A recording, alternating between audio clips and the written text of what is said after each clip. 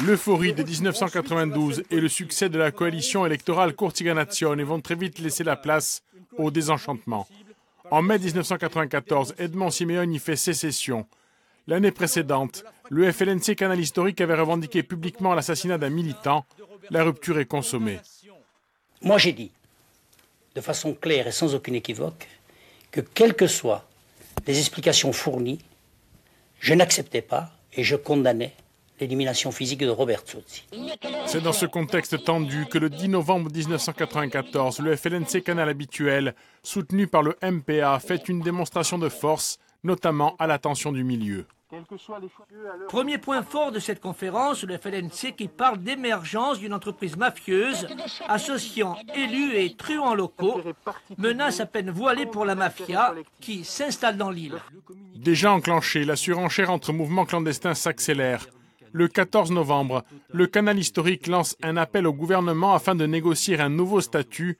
Le ministre de l'Intérieur, Charles Pasqua, répond favorablement. Charles Pasqua écrit en effet Quant à l'évolution des institutions de la Corse, si elle ne me paraît pas conditionner son avenir, je ne suis cependant pas opposé à une réflexion approfondie.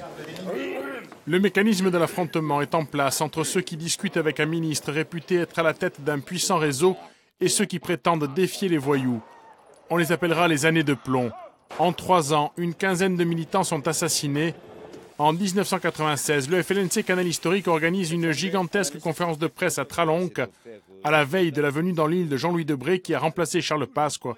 La succession des événements crée le trouble. Nous avons dit combien nous souhaiterions que la paix soit garantie pour que nous puissions servir la Corse dans le respect de nos compétences et de nos moyens.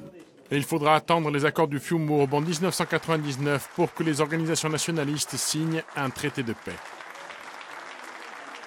Entre-temps, le 6 février 1998, le préfet Claude Erignac est assassiné à Ajaccio.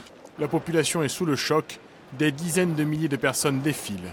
Nous vous invitons à poursuivre une réflexion et des actions afin que la citoyenneté s'exerce dans une paix retrouvée. Mais l'aspiration à la paix et à la confiance retrouvée ne sera pas pour tout de suite. Le préfet Bernard Bonnet va vite décrédibiliser l'État. Au printemps 1999, une paillote est incendiée à Kotitia-Auri. Très vite, les enquêteurs mettent en évidence l'implication de Bonnet et de ses hommes. Le retentissement est national.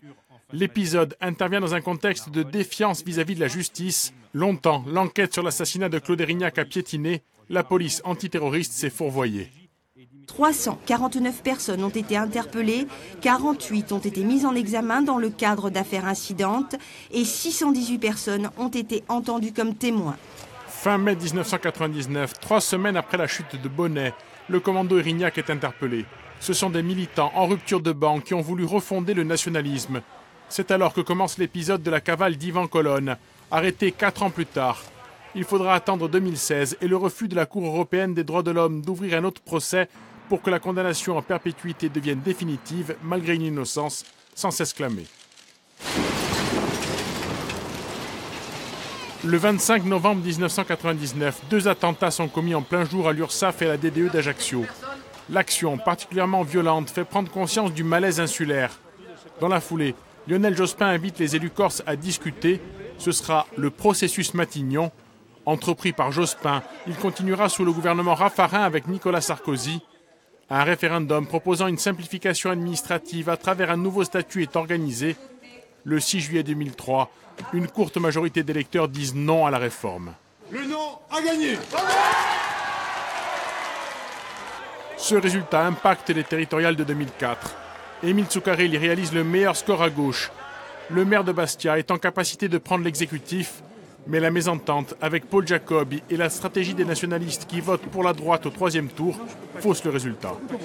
Dès lors, les jeux sont faits. Après de nouvelles interruptions et un débat qui s'éternise, on vote une seconde fois.